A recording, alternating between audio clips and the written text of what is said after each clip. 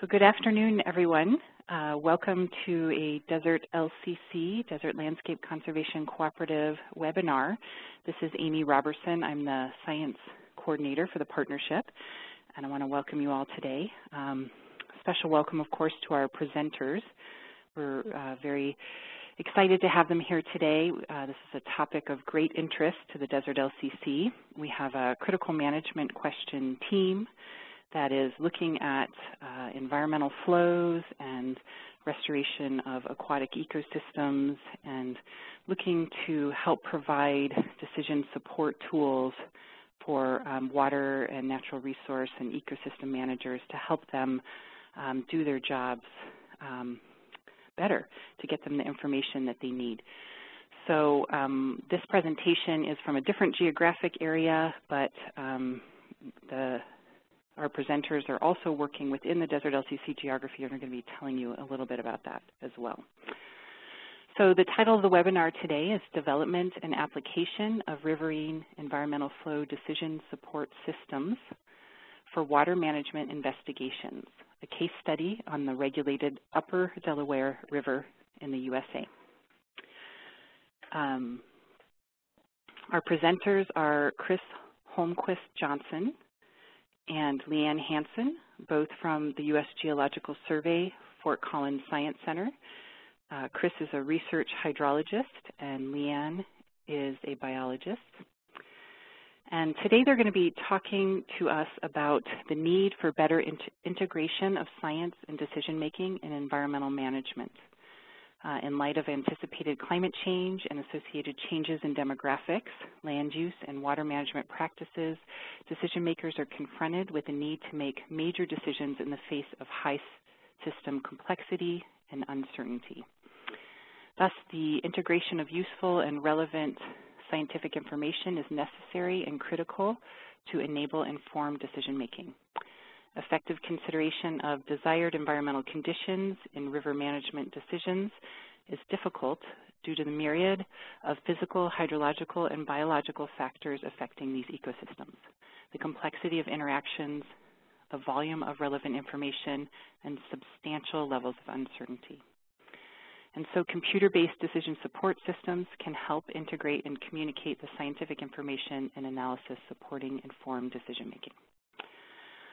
So with that, I'm going to hand things over to Chris and uh, let our presenters get started. Great, thanks, Amy. Um, so as Amy su suggested, uh, my name is uh, Chris Holmquist Johnson, and my colleague Leanne Hanson's here.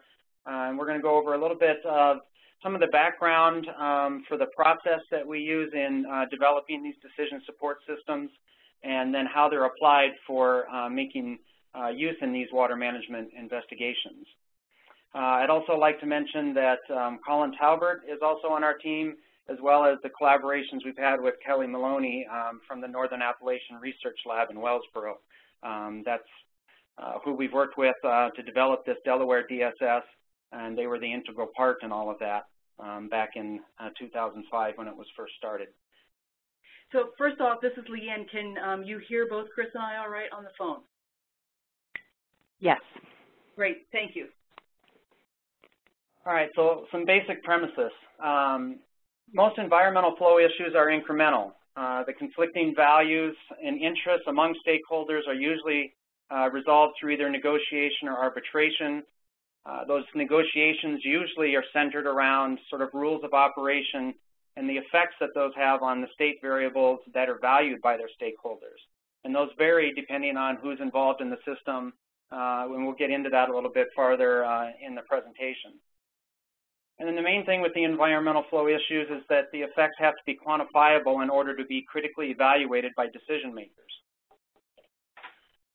So the method that we use is um, dates back to the in-stream flow incremental methodology, um, which was uh, put together back in the uh, 70s by folks uh, here in, in uh, the Fort Collins Science Center. And the framework consists of five basic phases. There's problem identification, study planning, study implementation, an alternatives analysis, and then the problem resolution. And so the idea with incorporating all of this is taking a, a very wholehearted, uh, large approach and looking at everything that needs to go into a decision, um, decision process. so the IFIM and the decision support systems, um, the important part of that is that they do not guarantee a single best solution. The idea is that it provides a science for the managers to analyze the things that are being of interest in their system, and they're able to integrate their knowledge and understanding of that problem uh, along with their professional judgments about what the biological resources and social needs are to be able to reach a negotiated solution that is implying some kind of balance among all of those conflicting values. So again, that's ultimately what we're trying to get at with this decision support system, but it's the idea that it's giving you the info to make that decision. It's not making the decision for you. As I mentioned, some of the things that are important to that are the state variables. Uh, those are, you know, what's important to each of the decision makers. It can vary whether it's flow in the river, uh, habitat, temperature. You might be looking at power production if you're in a hydropower facility, um, damaging floods, habitat fragmentation. There's a, a, myriad of state variables that can be important. And so flushing those out uh, with your stakeholders is very important. Then the idea is you, once you know what those state variables are, being able to quantify those. The whole idea of whose ox is getting gored and how badly. Uh, quantification, you know, is analyzed over time and space. And the idea is that you're looking at a baseline time series that typically represents either current operations, historical conditions, maybe it's natural flow conditions, or it could also be forecasted future conditions. Uh, those are all things that you get to decide as the decision maker on what your baseline um, information is going to be. And then we, we, typically have two types of models that we use with that, a hindcasting model and a forecasting model. The hindcasting models are usually alternatives are based on uh, new operational rules that might be imposed on a um, historical baseline condition. Compared to a forecasting model where we're looking at what are the alternatives that are new operational rules, but those are being imposed on predicted future conditions. Uh, so depending on the type of models and the capabilities that you have, those are the two different applications that we typically see. And then the uh, analysis that we're doing in a lot of our stream systems is looking at physic physical habitat modeling. And the idea that it provides an index of necessary physical conditions for a species or guild. Uh, but it's important to notice that it does not incorporate sufficient information to determine either survival or and or productive success. Uh, for example, it's necessary but not sufficient habitat. So this will come into play a little bit later when we get into the actual analyses. So a couple examples of some quantification over time. Uh, this is the idea that you're calculating a percentage of change in, could be area, volume, or some other metric uh, over a specified time interval. Or we could also be looking at a uh, summing up of the number of threshold violations that might occur over a specified time. To determine all of that, we have to go through this idea of a habitat time series. Uh, again, for this uh, river work that we do, uh, the idea with this is that you're looking at a flow hydrograph. Given that hydrograph, we have a habitat uh, discharge relationship that we can then go through and look at for that time series. Um, you know, for a given discharge and flow time, we can come across and find that corresponding discharge in our habitat discharge relationship, find the corresponding habitat area that is found, um, been calculated for that discharge, and then we can use that then to come down and generate now a time series and habitat area graph that we can now use that to determine based on our time series of the flows that we have what the corresponding habitat area is that's associated with that. Then we can use that to come through and do some of these quantification of effects where we can look at, here's an example of within a year we have our baseline and a calculated habitat area associated with each of those months. We have two different scenarios that we've run, and then we're looking at what the change effect is um, between those scenarios. And so we can see here in between scenario one and scenario two, there really isn't a lot of change in the area of that uh, habitat for that scenario compared to scenario number two. The hydrograph that was associated with that had a very large reduction in the amount of habitat area that was available. So this is an area that we can do some scenario comparison. The other example is looking at the temperature threshold and looking at between the two scenarios which of those uh, maybe uh, falls with outside of that threshold, uh, greater than a 14 degrees C or less than 2 degrees C. uh, looking at all of those, we get an idea of between the different scenarios. Again, scenario two has almost double the number of days that um, do not meet or are outside of that threshold. So the other thing we look at in doing those scenarios is the idea of uh, what is a scenario and how do you generate that. In general, it's a modification of rules that affect water management either through operations or allocations. Some examples of that could be the modification of reservoir rule curves. We could look at limiting diversions with permits, as well as imposing in-stream flow water rights. Some variations on that would be a modification of other dri driving variables that might affect the in-stream habitat or those other state variables that we mentioned. Some examples of that would be maybe channel modification. Maybe we're looking at a stream restoration component where we're actually modifying features within the channel and we want to uh, model what the changes in habitat might be as a result of those channel modifications. Uh, again, we could look at dam removal or also limiting uh, effluents to improve water quality. These are all things that might be something that would be part of a scenario generation. So an example of some hydrologic scenario generators, uh, simple hydrologic, hydrologic models uh, are going to impose rule curves for water allocation. That could be anything from uh, limiting the amount of diversion that's allowed, the timing that that occurs at, or where those points of diversion might occur. Typically, that's incorporated into like a reservoir mass uh, balance model, or we can also get into the system operations models, which is the example that we did for the Del Upper Delaware River, and we'll get into the specifics of that in a little bit. So some of the criteria for creating and evaluating alternatives, uh, first and foremost is the accessibility. If the information can't be found or understood, it becomes irrelevant. The outcomes are, need to be summarized and formatted in that, so that, such that they're easily interpreted, as well as it needs to be aggregated appropriately both spatially and temporally. And in doing that, then we want to be able to generate these side-by-side -side comparisons of alternatives so that that can be made with relative ease. And then again, bringing back in the stakeholders from the very beginning, we need to make sure that the process that we're using, the stakeholders understand the models, the processes and the information summaries that are being generated by the decision support system. And then the informational flow and formulas uh, that are utilized through the entire process can be traced to be able to interpret counterintuitive results. This is that idea of we really don't want any black box results. We don't want to hit the run button, get an answer, and not really be able to dig in to understand uh, what's going on with those. If we see something that has kind of an odd result to it, uh, being able to drill down and find that information is very important. So with all of that, um, we have done the work where we've taken that IFIM framework and sort of put that into a decision support system tool. And so the idea a lot of people ask is, what is a DSS? Well, from Wikipedia, it basically describes it as an interactive software that's intended to help decision makers compile useful information from raw data, documents, personal knowledge, and or models to solve problems and make decisions. You'll notice the emphasis that I have there as to help decision makers and compile useful information. Again, it's not making a decision for us, it's helping those decision makers uh, make use of the information that is there. So common attributes to the decision support systems, uh, stakeholders choose the state variables, select your baselines and generate the scenarios. Uh, this is very important because everybody that's involved in the system that you're working in all have different interests into what's important.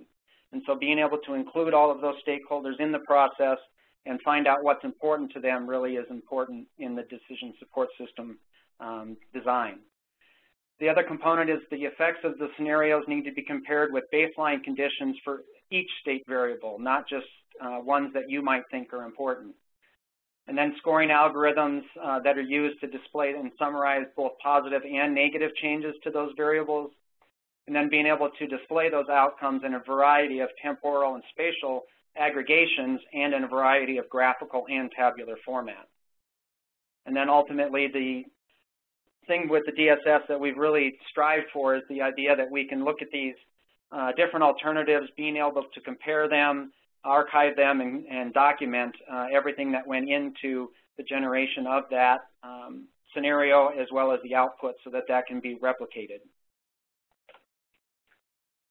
Some of the keys to building a useful uh, decision support system, again, decision maker involvement. Uh, as I mentioned, it ensures the relevance of the state variables and it also promotes ownership. If they're involved in the generation and the uh, framework of that DSS, then they're more apt to uh, work with you in the decisions that are made and the uh, values of the variables that you're looking at because they were involved in that. Uh, transparency is very important. It facilitates the understanding of what's going on as well as it's necessary in order in able to diagnose any problems that may occur. And then navigability, uh, the idea that we want to have a tool that's very easy to use and accessing the information is easy to do so that we can uh, compare all of our different alternatives in an easy manner. Some of the things we've learned so far along the DSS track is that the process is a process. Uh, on the Delaware River, we've been working uh, with the folks there since 2005 when we uh, put together the original DSS for them, and I'll show an example of that here in a little bit, and how that process has continued and additional uh, interests that they have, as well as applicability of the programs and needs that they have. Again, stakeholder involvement is critical. Uh, setting reasonable stakeholder expect expectations Again, the DSS does not make the decisions, it just shows consequences of action. And then the devil's in the details. Again, transparency helps, being able to understand what's all going into these models, how they're being analyzed, and the output that's coming from those and how those are used. So this is a general framework that we use in developing our decision support systems and gives you an idea of uh, everything that could be included in a decision support tool. Um, they're based on applied science. It provides science for specific water management and decision issues, and we present the outcomes in multiple formats. Those are designed to be uh, applicable for the different stakeholders, whether it's water management, biology, again, power production, or recreation. So the idea with the chart that we have here is that, you know, we can display the key indicators or those state variables. It's adaptable and replicable, and then it's structured in this modular format so that we can transfer it to other areas and allow for future development. So while you may not want to start off with the entire picture that we have here where you're including global climate change models that work their way down into surface and groundwater flow into your final river flows, sometimes the applications that we're working with right now are really just this green box where we have a, a system operations that is our input to let us know what amount of water is in the river at a given time of the year, and then we're doing our um, hydrodynamic modeling and our habitat analysis within that to then look at those decision variables in the end. But when we start getting into forecasting models, that's when we can start bringing in all of these outside boxes in the flow chart uh, to look at uh, doing future predictions. The other thing that's real important in the decision support system is the idea of that spatial and temporal analysis. And the first time we started with some of this was the idea of the spatial composition of habitat being able to be explicitly calculated, looking at how is it really distributed along the system. So here's an example of just patches of habitat um, on the Yellowstone River, uh, the classifications of shallow, slow water, shallow, fast, etc., and being able to see how those are distributed among the system and how they overlap. The other component we looked at that is the idea of spatial relationship of habitat components being considered. So not only individually looking at species uh, spawning and incubation or fry, um, but we want to be able to look at where do those end up having persistence or overlapping characteristics. If we have a lot of habitat that is good for spawning and we have a large amount of habitat that's good for incubation, but those two don't overlap, you're really not going to have persistence of that species because they're in two different complete locations. So this is just an example of the yellow being a habitat area for incubation, the red being an area of spawning uh, habitat, and then the orange being the overlap of those two. So really to have the persistence of that uh, species and life stages occurring, you have to have sort of that orange area is your ultimate uh, effective habitat that's available versus if we just did a straight calculation on each of those independently, we would sort of overestimate the uh, effects of that habitat. So with the new um, environmental flow decision support system that we've come up with is trying to take all of those into a computer program that we're able to utilize the outputs from these various models and sort of synthesize all of that data into a usable format. And so we'll get into a little bit more details on each of the windows that are in this, but it just gives you an idea of how uh, the computer program and the things that we're going to uh, look at in terms of uh, habitat suitability maps, um, the navigability that we have, habitat um, metrics that we're going to be able to modify, and uh, sort of the GIS type functionality that we'll have. So that's sort of the background that goes into the IFIM framework and is the driving components and models for the decision support system. So what we did is, in working with Kelly and their group uh, on the Delaware River, uh, was applying this uh, decision support system to the Delaware River. They wanted to look at evaluating how different flow scenarios affect in-stream habitat for biota. They wanted to be able to incorporate a suite of taxa, and they wanted to be able to update what they had previously up into a more user-friendly and updatable package that they could continue to uh, develop as time goes on. So a quick overview of the Delaware River. Uh, the basin itself is about 33,000 square kilometers. Uh, encompasses four different states, Delaware, New Jersey, New York, Pennsylvania. Uh, it has a large range of varying land use and land cover. It provides water supply for about 16 million people. Uh, and then in 1931 and again in 54, there was a Supreme, Supreme Court decree between the four states and New York City um, that was uh, addressing the water uh, issues uh, associated with the Delaware River. And in 1961, the Delaware River Basin Commission was formed to kind of oversee that decree and, and, and work with the, the water managers uh, throughout the system. So the New York City Reservoir Release Program, the main purpose for that is looking at the ecological water needs, the flood mitigation, as well as flow targets. So all of this sort of is the base for the need for this decision support tool. The application that we used was specific to the upper Delaware River. Uh, the drainage is specifically north of the Montague, New Jersey, uh, where the stream gauge is there. There's three reservoirs in the system, uh, Downsville, Cannonsville, and the Neversink. And characteristics within this that are tied to the decision support tool and, and the needs for it were a world-class cold water fishery, the endangered uh, dwarf wedge mussel, and then the two main issues were the idea of flow in the river as well as the temperature that was associated with that. So to pull all that together, we've worked with Kelly and their group in putting together this decision support tool. The idea that we had a flow release model, uh, which is the OASIS model that they're using. Uh, that provides the flows in the river uh, based on the water estimates that they're needed. We then have flow-specific habitat uh, modeling that we've done. There's habitat suitability criteria, and all of that becomes input into this DSS, which is our synthesis tool that then outputs what our potential available habitat is. So the original DSS that Bovee et al. did in 2007 um, used this IFIM framework, but it was done more rather than a uh, GIS type um, program, it was done within Excel where they were doing their individual modeling. They were then uh, calculating all of their uh, state variable uh, metrics, you know, in GIS by hand, and then summarizing all of that output into an Excel-based uh, format. Uh, at the time, that was the best application that they had, and it worked very well. Uh, the DRBC was happy with that. Uh, as time went on, though, they found that there were some limitations there as well. It was as well as it was really hard to kind of dig in and understand what all of the results were and how changes were being affected. And so then they contacted Kelly and their group, uh, who in turn worked with us on trying to find out could we update the DSS into something that was a little bit more usable. And that was what started this entire process. So the new DSS and the things that they were looking at is they have uh, three different scenarios for flow releases they wanted to analyze, uh, Rev 1, Rev 7, and FFMP, and there's various different things that were associated with each of those hydrologic scenarios.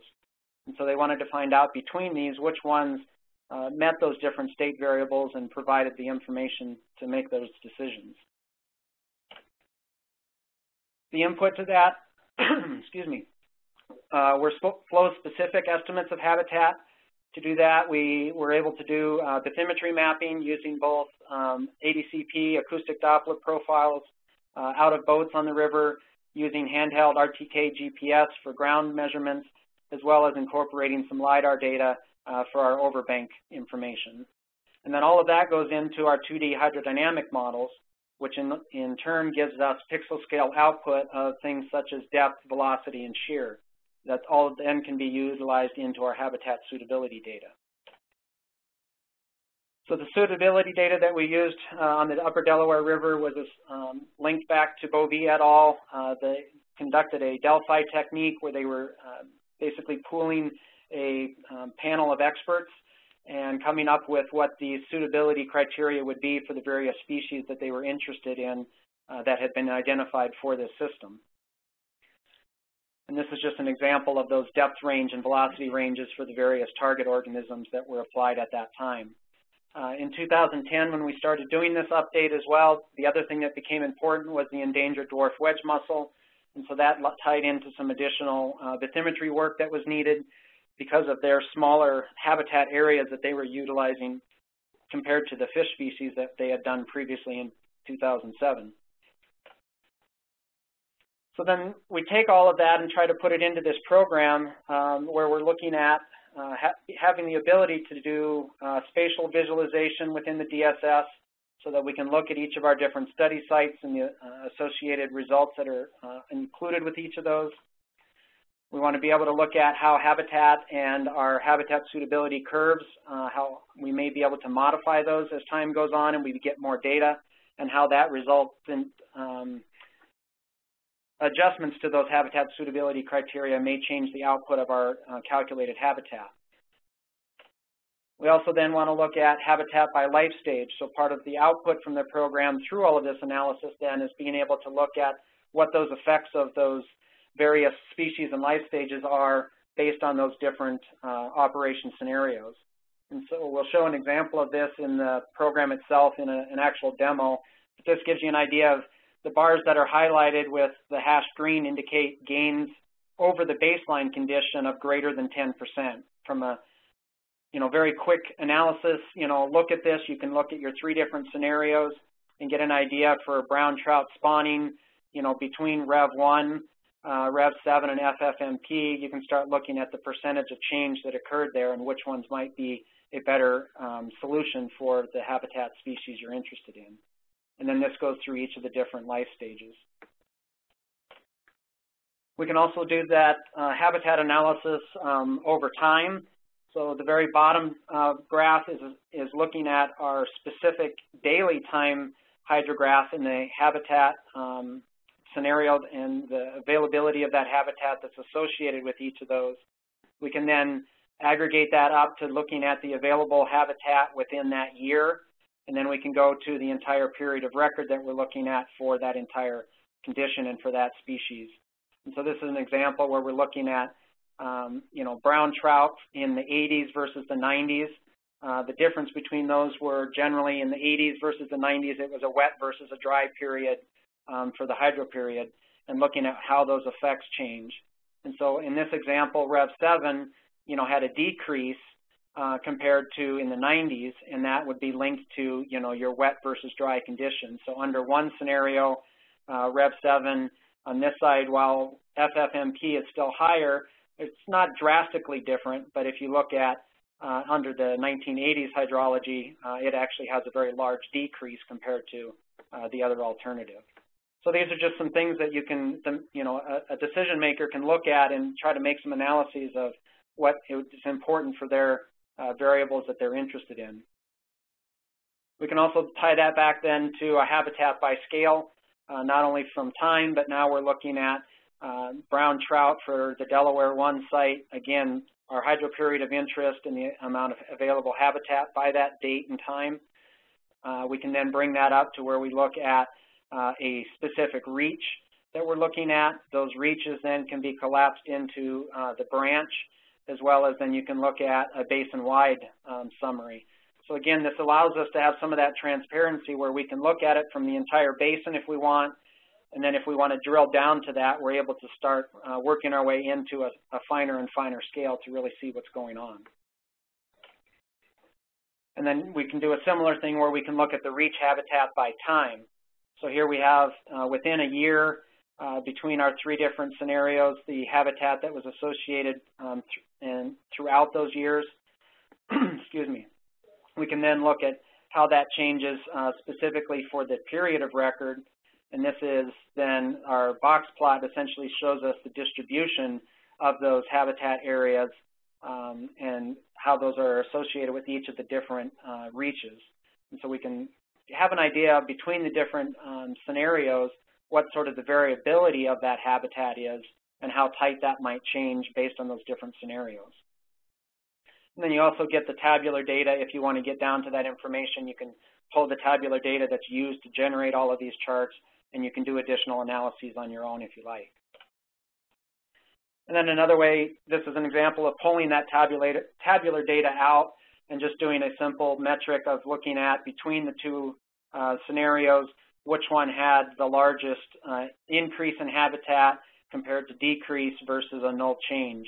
And under this condition, the FFMP overall had a larger in number of instances where that uh, metric was increased and one less condition where it was decreased. So again, it's just various types of tools that you can give the decision maker to see how they want to look at the results of those different scenarios. So then what we try to do with that is pull it all together. And what we're continually doing and trying to make this as a, um, a transferable tool as well as something that can be updated over time. Uh, the current model doesn't incorporate temperature and some other parameters to it, but Kelly's group is working very diligently on incorporating the dwarf wedge mussel information as well as the temperature model for the upper Delaware River uh, to be able to include that into the decision support system. So the overall framework and the analysis that are done with all of that are already built into the DSS. It's a matter of an, an additional module being added in that uh, is going to do a temperature analysis and so it's really just an additional module that gets added. We don't have to rewrite the entire program to do everything, and we're able to modularly kind of add these additional needs uh, as time goes on. And then the photo is just an example of, you know, pulling this all together. The top photo was um, when we were out there surveying the bathymetry. Um, we had a flood come through. The bottom picture was uh, the day before. Uh, so within about 16 to 18 hours, we went from, you know, small little uh, ankle deep water uh, where the pin flag is. There were actually some mussels that were exposed on this dry bed, uh, and within about a day, uh, we had flood flow coming through the river. And as you can imagine, that causes some problems with the species that are in the stream. Um, and we're able to, through this tool, kind of look at some of those analyses and try to understand what kind of flow conditions were in the river and what may be happening to that habitat over that time. So then with this, we've done some work with um, the Desert LCC to where uh, we're looking at transferring this uh, riverine uh, application of the DSS into a condition uh, for a mar uh, marsh, uh, a marsh application. And specifically, at Topock Marsh at the Havasu National Wildlife Refuge. Um, we submitted a proposal to the Desert LCC um, a year and a half ago to uh, get some funding to see about making this applicable to the marsh. And um, they accepted our proposal, have provided funding for that, and that's a project that is currently underway. Um, so we wanted to mention that. I didn't have um, a lot of things uh, for that specifically, but we are working on um, a poster for next week at the Desert LCC. And so um, it was suggested that we just kind of show a little bit of that as far as what we're doing and how we're applying it. And some, some of the differences in the riverine versus the marsh application is at Topock Marsh, we have a 4,000 acre marsh that uh, the refuge manages um, for various um, species, uh, mostly bird nesting habitat and uh, waterfowl. And so it's tied into the Colorado River uh, is where they get their diversion water from, and they have numerous uh, canals that they're able to divert that water. It's all natural gravity-fed uh, systems. Um, they've had some various issues with some of the different canal conditions and the amount of water that they're able to divert into the marsh, as well as uh, the way that they are able to maintain elevations within the marsh uh, throughout the year, based on that gravity feed and the water elevations within the Colorado River. So in working with them, uh, with the Fish and Wildlife Service, uh, they asked if the DSS that we currently were working with on the Delaware could be transferred and applied into this type of situation. So we're doing work with them now to where we've gone out. We've um, collected uh, a couple years worth of data, uh, numerous years actually, of data on uh, aquatic biota and water quality assessments. So we have colleagues of ours that are doing work there. Uh, we also then are in October going to be doing some emergent vegetation mapping uh, using unmanned aircraft and uh, color infrared imagery, where we'll be doing a vegetation analysis and mapping of the marsh to get an idea of where the various uh, vegetation uh, development is and how that's being spread throughout the marsh and how that ties into the available habitat for the bird species and waterfowl. We then also have done um, some hydrologic modeling where we're looking at the marsh, historic marsh elevation uh, tied into the various uh, diversions and where that water is able to come from and looking at a time and historic time analysis of that tied into the water quality to see depending on where that water is coming from between the various canals, how is that affecting water quality throughout the marsh itself. And then we did some bathymetry work this past year where we collected um, the bathymetry of the marsh itself so that we can then start analyzing, uh, given a marsh elevation, what is the available depth and uh, habitat that would be associated with that uh, to analyze uh, how the birds are utilizing that area. And then we're working on the development of that DSS tool now, where the difference is instead of having an OASIS, um, you know, uh, water management uh, prediction, we're looking at hydrologic models and water marsh elevations that are giving us the uh, elevation and depth associated with that within the marsh. We can then look at the habitat suitability associated with those species and again look at our flow estimates and synthesize all of that data with our water quality and vegetation to again come back out and try to understand what the potential available habitat is within the marsh under different uh, wet, dry, and average hydrologic uh, conditions historically, and then we can look at how the marsh might be able to be managed differently if those elevations were modified or operated in a different way, how does that affect the habitat? And then our future direction with that is getting into how I talked about the hindcasting versus uh, forecasting models. Our current um, funding that we have through the Desert LCC for Topock is the hindcasting component, where we're looking at how the marsh was managed historically and how uh, imposing maybe some different uh, water delivery components on that uh, might change the habitat that was available. And our phase two that we are hoping to move towards would then be that forecasting model where we would start looking at um, possibly um, global climate change models and how that would affect river flow in the Colorado River, which then results in the amount of water that can be diverted into the marsh. Uh, they're looking into options of if the gravity-fed canals aren't able to provide the water that's needed, are there alternatives there with uh, groundwater wells, um, you know, floating pump platforms along the Colorado River, um, rain catch basins, different things like that, that they're, those are kind of, kind of their flow scenarios that they're looking at to understand how they might be able to operate the marsh in a better way. So that's just a, you know, a real quick overview of sort of how we're taking what we did in the riverine system and applying it to a marsh condition.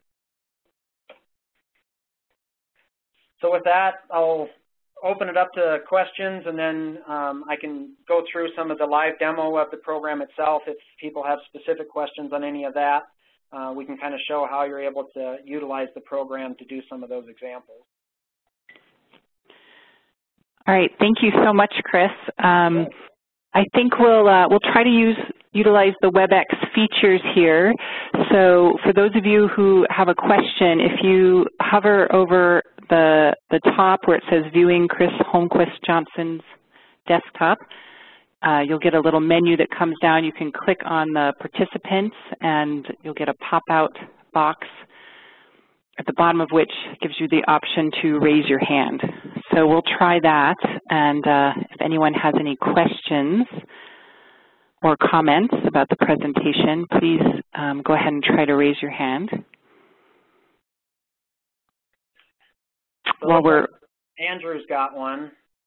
Okay, I think maybe only you can see them as the presenter. So Chris, I'll let you call on folks and just remind you all that you'll need to unmute yourself and do that by pressing star six.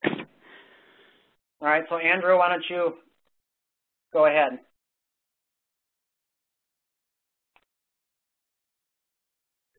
Can you hear me now? Yeah, we can hear you now. Uh, good, good. Um, well, excellent presentation. Thank you so much for, for the overview you provided both for the work on the Del Delaware River and, and, and the nod towards the work you guys are doing on Topock Marsh. I, I think this is absolutely the, the, the, type of science that, that we as a, as a scientific community are, are, are going to be able to make a lot of you know, more informed decisions for very complicated, oftentimes uh, systems that that have components that work one against the other. You know, biologically, like at Topock, the the different habitat needs that, that we need to establish for habitat for, for the southwestern willow flycatcher is in contrast and sometimes in conflict with with Yuma clapper rail needs, and, and trying to walk that very difficult balance between you know, not, not stealing from Peter to pay Paul is, is one of the orders of, of the day for, for folks in the, in the conservation field. So I, I think in general this this type of tools is, is super effective.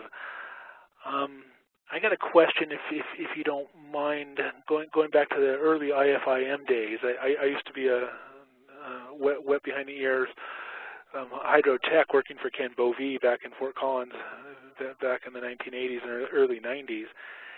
And it always seemed that one of the real big you know, science uh, points of uncertainty are the, these, you know, trying trying to relate habitat to, to some flow variable, and, and then even going further to have those habitat suitability criteria. Can you give me a sense on how that end of the discussion has has progressed over the last 10 years? I mean, are, are we, as a, as a community, are we more confident in our ability to to, to pinpoint what what the flow-related needs, whether it's uh, a velocity articulation or, or, or a water level?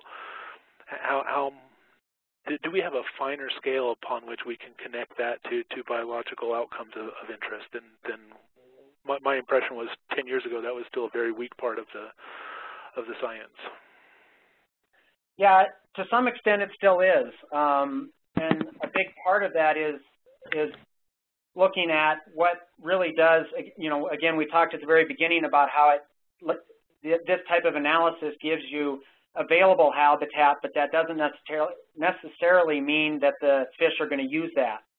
And the components that get to whether the fish really utilize it or not, uh, we're finding sometimes is tied into more additional variables that you know aren't defined in just your depth and velocity relationship. You may be getting into, you know, they're keying into areas where there's uh, groundwater upwelling or certain temperature parameters that are associated with that. And so some of the things that we've done and are working towards with the decision support tool is rather than trying to incorporate those variables in a specific uh, HSC curve, is doing sort of a layered analysis within the GIS to where we maybe apply our depth velocity analysis through the habitat suitability data to come up with a habitat area that is considered available based on those constraints and then you put another layer on top of that and say, okay, anywhere that that area has been calculated, now look at the temperature in that area and does it fall within the necessary range of values that we've identified. And that's going to then probably um, clip your polygon to be a little bit smaller.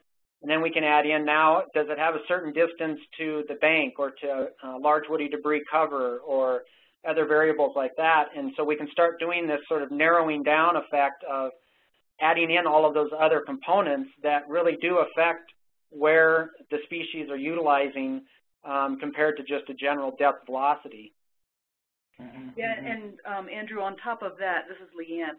Um, you know, it, we've also found that a lot of times um, it's not only species and life stage dependent, but it's also location of the, the water system that you're looking at. So, for example, we've been doing some work up in Alaska, in some of these uh, smaller creeks as opposed to a large river system. And while the species and the life stage they're interested in are very similar, and in fact the same species and life stage, the criteria for those are actually much different in those different riverine systems, whether it's a small headwaters type, very steep tributary, or a huge river like the Susitna River. Um, and that's some of the, the work that um, we're relying on those species-specific biologists to conduct and provide us the, the best known science at the time. And it has changed over the last 10 years, or even the last 15 years. In fact, even the last five years, as we've gotten more and more um, species-specific biologists research um, conducted, peer-reviewed, and available in the in the literature to rely on and use those folks for the development of these HSCs. Yeah, and that's for the Delaware. That really ties in with the work that uh, Kelly and his group are doing. You know, for the dwarf wedge mussels, there really wasn't a lot of information associated with what their habitat criteria was, and so their uh, lab there has been doing a lot of work, uh, both in the laboratory and the you know field-specific measurements, where they've gone out and through that snorkel data and lab analyses that they've done, you know, have have come up with some habitat you know suitability curves that associated with the dwarf wedge mussels, you know, in the Delaware River, and you know we're really finding that you know, that they really do key on a lot of the groundwater conditions that are associated with that um, when we start looking at where, what our habitat models uh, describe for given depth and velocities. You know, sometimes we're showing more habitat area than where we were seeing the mussels at. And when we tied into the uh, data that they were looking at in the snorkeling work that they did, we were finding these, you know, groundwater upwelling areas were really where they were keen off them and being uh, persistent. Okay, thank you for that. Sure. Uh, Seth, looked like you had a question as well.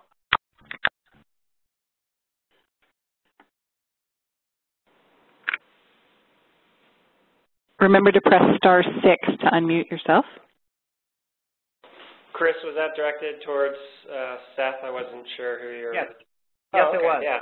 Yeah, it was really just a follow-up. No, I appreciate the presentation. It was really great, and I'm glad Andrew teed this up because I was thinking of it before he made the comment, just whether or not there's some form of sensitivity analysis that you can do based on that habitat suitability information that you know. And, and can you just simply, or are you simply saying that this kind of uh, multiple layering technique um, will whittle it, whittle down your expected um, area of habitat suitability um, more more finely, and in addition to that, that that sensitivity analysis might simply be just an iterative process as you get more information from the field from biologists that you just update the model.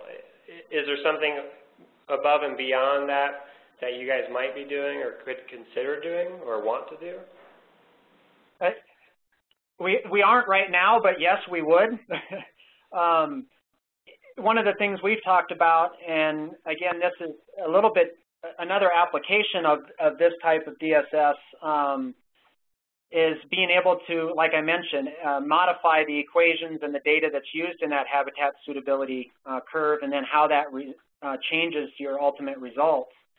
Um, one of the things that we've talked about is that you could use this for sort of a sensitivity analysis or if you have some data that goes into an HSC curve and you're kind of like, well, I'm not really sure how that, if that range is right with what I'm doing, you could start playing with this to where we can, you know, start dragging our curve around um, and seeing how that affects, you know, the habitat and things that are being, um, you know, generated. And you can see that this is changing my depth and velocity things over here as I change my uh, actual values.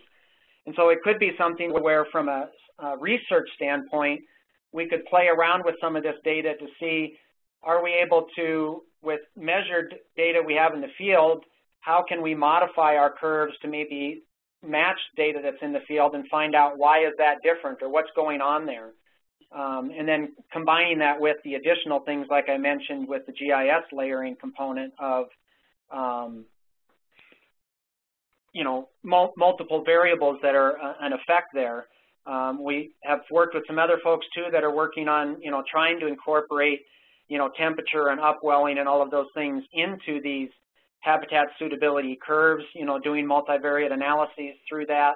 Um, but it's, all of that's kind of a, uh, an ongoing thing and it's a question of how much of that can you actually incorporate into an HSC curve as one analysis, or is it better to do it as sort of just layering analysis because they're all interrelated. So it's kind of hard to tell from a suitability curve development idea, you know, how many variables can we put in there and at what point are we ending up with curves that maybe aren't biologically meaningful anymore. And this is Just the other a follow-up question for you about that. The yeah. Delphi panel results, what it looked like is they provided you a range of habitat suitability values. Do you have a sense for how well that range that they provided you actually relates to what ultimately has come back in addition from the field since that paneling process occurred? I mean, has it been generally within the boundaries, or are you finding a lot of surprises? Uh, I don't, we didn't specifically look at that. I don't know if Kelly's on, uh, Kelly was on, but I don't know if Kelly, you've got an answer to that with some of the additional field work and things that you guys have been doing. I can, this is Leanne, I can speak for the, the first um, DSS on the Delaware. There was no um, validation of observation data, um, any formalized, I should say, validation of observation data of species and life stage with those habitat criteria locations on the Delaware River. Um, and, and Kelly, you can add two on the, the most current DSS version if you've got any information to share. Am I on? Yes. Now you're on. This is Kelly. Yes, um, we haven't done too much into the confirmation other than with some of the mussel work and we're currently working on that as we speak. We don't have much to report on, but with the dwarf wedge, we have seen areas where there's stable, persistent populations over 10 years. It seems to show some areas where DSS is saying there's there's good habitat. Is that's where they should be. But as, as Chris mentioned before, you see a lot more habitat. So we need some some other metric like upwelling or scouring of a bed, if that makes sense. I hope I answered the question. Yeah, thank you very much for the replies. Yeah, and Seth, the other thing I wanted to add um, is that one of the things I think would be very useful with the current and future versions of the DSS is to use the um, resiliency of this tool to do a validation of uh, of those in the field observations of okay, our our modeling shows that they're at this XY location. We have this um, subset of data, whether it's water quality, distance to cover, large, large woody debris, whatever those additional variables are outside of the depth and velocity baseline that we have, um, where, where does it match up with what those observed um, locations are? And how can that maybe inform um, what the future research is and the future um, effort in the field to locate those fish you know, individually for that life stage based on the, the habitat suitability criteria and those additional uh, variables. If, does that make sense? Yeah, absolutely, and I think that that, that would be a very helpful addition to these tools as, uh, as part of an agency who makes a lot of decision making. I appreciate it. Sure.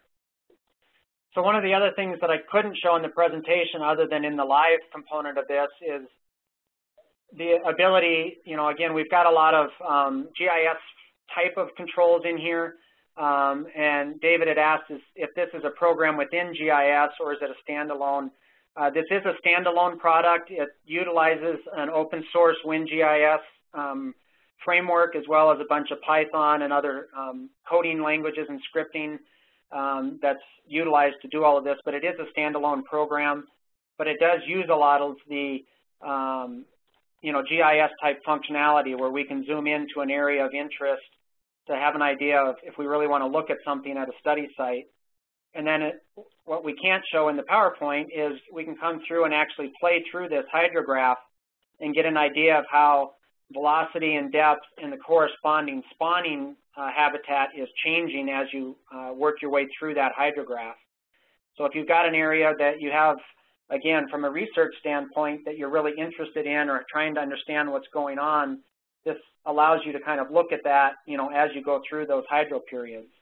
Um, another component that we can do with this is, um, this is an example of comparing our 2005 um, survey data to our 2010 survey data. And again, playing through um, the various hydrographs, you'll see that in the 2005, we end up getting some additional water up on the island when we don't get that in 2010. And some of that's a, an a effect of the channel geometry and the definition uh, that we were able to get in our surveying. And so this would be an example of if you were doing those stream restoration components where you had a um, current condition, and then maybe you had a channel modification that you were going to do in the model, and you could play through those to see how the conditions were changing between those two different river geometries. Um, so that's just an example of, again, some analysis things that you can do to get an idea of what's happening between them. So in this example, the difference between 2005 and 2010, there were multiple tropical storms and hurricanes that moved through the system, and they had large flood events, and that's the reason that the channel geometry is different between that time period.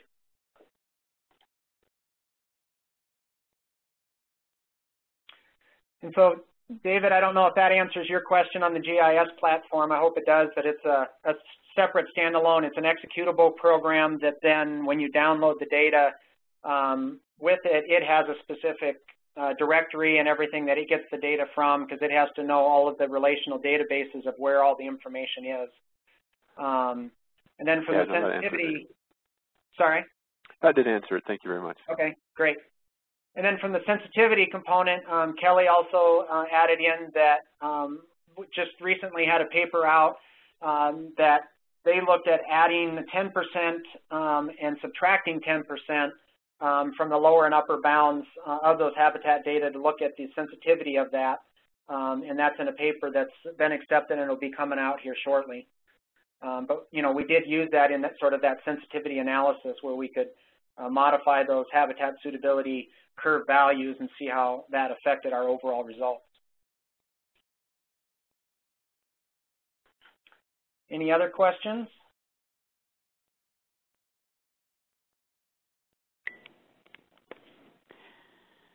Chris, this is Amy. Um, I just want to jump in and thank you and Leanne for your presentation today. Um, I think this kind of project, um, looking at what you're doing in the Desert LCC and what you've done elsewhere is, is really the kind of work we want to be supporting. We're really glad to be able to do that. Um, one of the things that we think that we can add value to the conservation and natural resource community um, in our partnership is by looking at what are the lessons learned um, from different methodologies or different approaches um, across the landscape that have that could have potential applicability in other places. So um, you all are very clearly taking what you've learned in one place and looking at how to uh, reconfigure the same ideas um, to be applicable to another location. And I think that's it's very interesting and obviously very useful. Um, so thanks, really, really great project. Sure. And I guess one other thing I'd just add in with all of this is I, the windows that I brought up were some windows that we've generated, but all of these are custom customizable.